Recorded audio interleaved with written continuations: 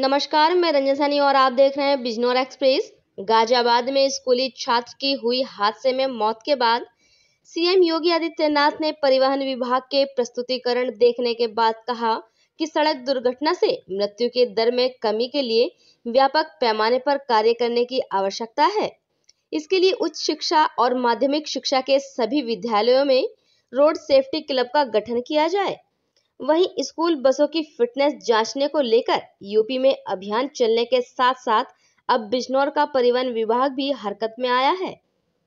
शासन से मिले निर्देश के बाद बिजनौर एआरटीओ सहित परिवहन विभाग के अधिकारियों द्वारा जनपद के सभी स्कूलों में लगे वाहनों की चेकिंग की जा रही है।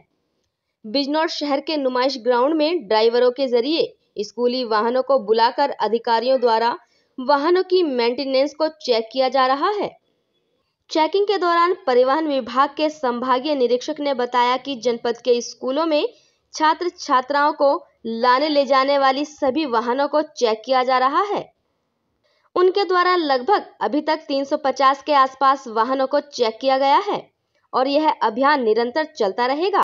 सर आज ये चेकिंग अभियान चल रहा है बसों का स्कूल बसों का। क्या है पूरा मामला? शासन से निर्देश प्राप्त हुए हैं कि सभी वाहनों स्कूल वाहन जो हैं इनको अट्ठाईस तारीख को सब प्रतिशत चेक करके रिपोर्ट देनी है। जी। तो इसलिए आज हम लोगों ने सभी वाहनों को यहाँ बुलाया है और इनकी चेकिंग की जा रही है। तो सर कितनी गाड़ी है आपको इलीगल मिली है और कितनी इलीगल मिली हैं?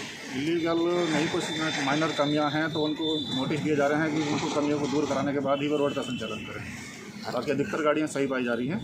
काफ़ी समय से गाड़ी चली नहीं थी तो कुछ में जैसे फ़र्स्ट एड बॉक्स की दवाइयाँ एक्सपायर हो रही थी या फायर सिलेंडर जो है एक्सपायर हो रहे थे उनको कहा कि सब बदल के दूसरा रखें।